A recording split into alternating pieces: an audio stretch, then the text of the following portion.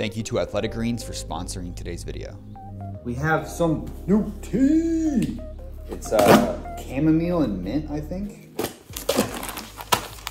Cool. Chamomile, mint, organic, herbal blend. See, this to me could be a morning tea or an evening tea. Look at that beautiful piss color. Oh, isn't that just appetizing? Whatever's going on in my life and the world, a cup of tea always centers me, grounds me, and allows me just to like live presently for 10 minutes. So cheers.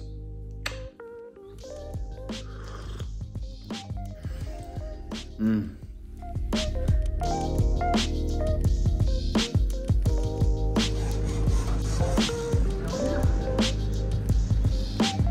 So our goal today is to try to find some picture frames and some artwork to go above my bed to complete my gallery wall uh, that I started six months ago when I moved into my apartment. So we're at this like antique store warehouse that I've been to before.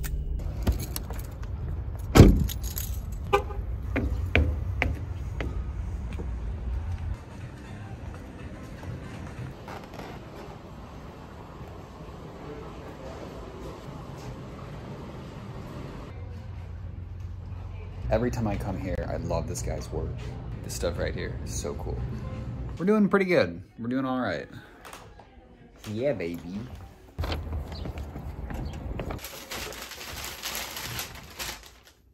We got the door open today. We chilling, we vibing. We got some Harry Styles coming through the speakers right now. I can't play it because Harry's gonna come after us with a copyright. Check that out. Isn't that flipping gorgeous? So this is what we got. It's looking pretty fresh. It's, it's pretty, it's pretty cute. It's pretty sexy. I stopped doing it because it's 11 o'clock at night and I have a neighbor on the other side of the wall and he's a super cool guy, but uh, I've been pounding.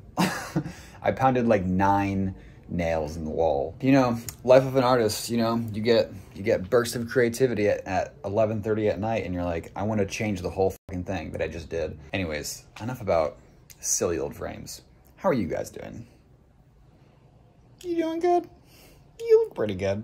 All right, I'm gonna go to bed.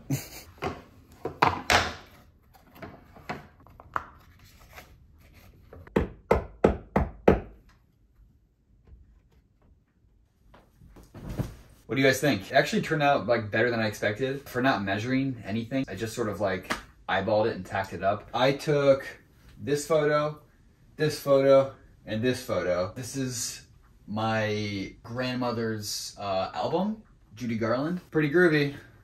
Guys, if you've been following this channel the last few months, you have noticed me drinking this, AG1 by Athletic Greens, which is today's sponsor. Let's talk about it. It's a daily supplement that has 75 different ingredients, including vitamins, minerals, superfoods, probiotics, and adaptogens. I've almost considered this like a part of my, my self-care routine because uh, it's good for your hair, your nails, it supports gut health. It's not just for athletes, it's for anybody who just wants to like have all their daily nutrients in one convenient little shaker bottle. It's also packed with adaptogens, including magnesium, which helps with muscle recovery, and a bunch of vitamin C, zinc, uh, to support your immune health. Just add one scoop or travel pack to eight to 12 ounces of water, give that baby a shake, and drink up. Even though it looks like a bunch of liquefied grass, it's delicious. Kind of tastes like a sweet, minty pineapple. Go to athleticgreens.com slash MarkE Miller to get started on your order. Athletic Greens is giving you guys a free one-year supply of immune-supporting vitamin D and five free travel packs with your first purchase. When I was talking to my therapist last week, he brought up the idea of autonomy versus togetherness, how much time we like to spend alone and how much time we like to spend with others. And if you like had to put a number on it, I would say my split would be like 70 30. 70% of the time I like to spend with myself, and then the rest of the time with others. I don't think you necessarily have to like put a number on it because it's kind of hard, right? It depends a lot on your environment, the mood you're in, where you're at in your life. Like just for the sake of the the the exercise like he told me to put a number on it and so i said 70 30 my biggest takeaway from from therapy so far was just like yes i get time to like talk about my feelings but more importantly i get to learn about my feelings and learn about what they mean and it's been such an educational process. I've known for a while that like i'm an introvert and i recharge alone and i always think in my head i was like okay for my my future partner uh I'm like, they need to be an extrovert to sort of like get me out of my shell.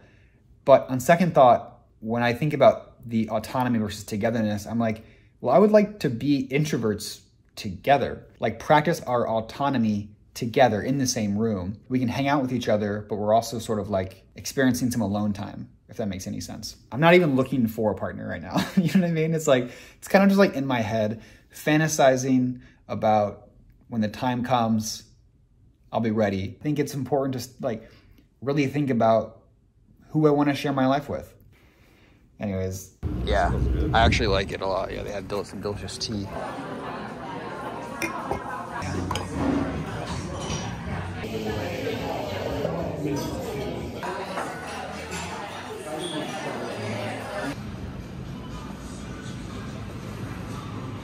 Hey sir, can I help you with anything? Peanut butter protein bars and beer. Bros who grocery shop together, stay together. Yeah. Have you been there? Uh, I used to live. Okay, I'm scan your. Oh, you did? Oh yeah, got it. Very cool. So, so you're like, got the s'mores, got the beer. Again, healthy, balanced diet. Healthy, That's balanced diet. Yeah. Beers and cooks.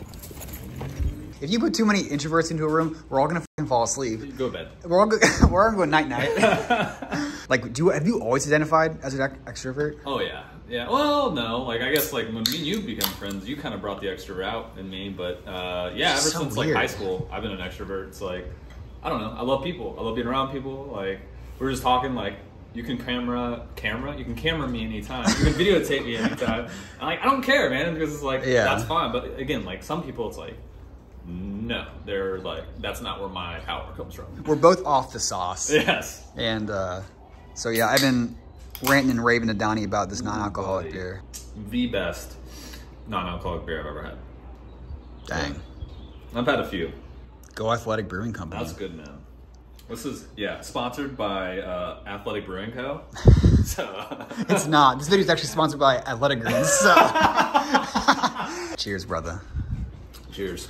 I feel like I spend a lot of time looking at houses online, whether it's on Zillow or in some of my architecture books. I spend most of the time looking at homes way outside my budget, which is kind of funny because for me, like the ideal setup and something I'm working toward and saving toward is buying property with a little house on it.